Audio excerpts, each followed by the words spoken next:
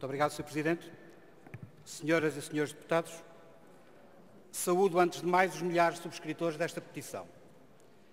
A intervenção que podemos fazer, confinada a três minutos, não pode abarcar todas as vertentes e todos os termos que o objeto desta petição e deste projeto de resolução integra, na certeza de que, referenciando-se ao regime jurídico dos concursos de professores e tendo em conta o impacto na organização e funcionamento do complexo sistema de educação e ensino, merece todo o esforço de análise e de busca de soluções, designadamente de natureza normativa.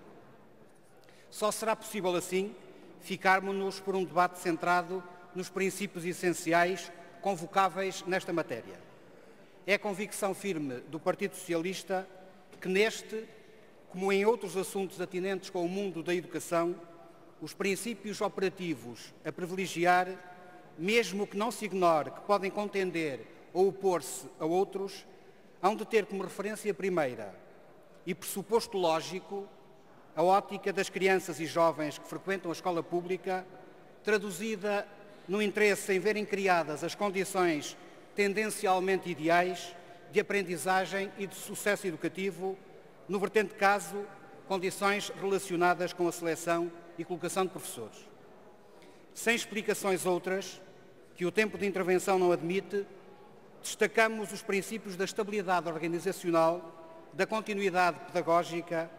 da adequação dos meios e recursos aos projetos educativos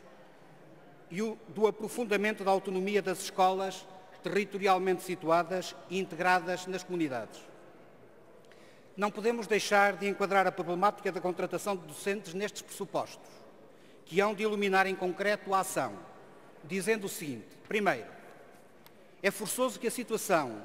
de docentes, ano após ano, ininterruptamente contratados,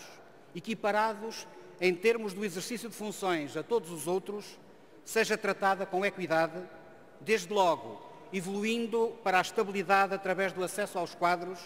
como impõe a União Europeia e recomenda ao Provedor de Justiça. Segundo, não pode ser o facto de existirem problemas no regime concursal e respectiva concretização que nos deve levar, sem mais, a recuar nos princípios que enunciamos como essenciais e subordinados aos quais definimos regras. Terceiro, o caminho que se percorra em matéria de concursos deve funcionalizar-se, sem cedência alguma, à transparência, à justeza e ao rigor de atos, procedimentos e decisões, assentando em critérios legais, objetivos, claros e não discriminatórios, em que o trajeto dos candidatos e a sua graduação profissional deverão ter um peso relevante. Quarto e último, não prescindindo de assentar as soluções a demandar nos aludidos princípios, sem ceder a propostas imediatistas aparentemente fáceis, o Partido Socialista está disponível para procurar a melhoria que se justifique no quadro regulamentador dos concursos, que de forma equilibrada supese e responda aos interesses legítimos em equação. Muito obrigado.